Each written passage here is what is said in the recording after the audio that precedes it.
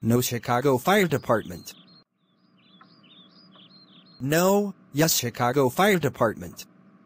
You are super extremely grounded for saying that. Go to the police car right freaking now faggot. What the fuck do you think I'll do next? To be fucking continued on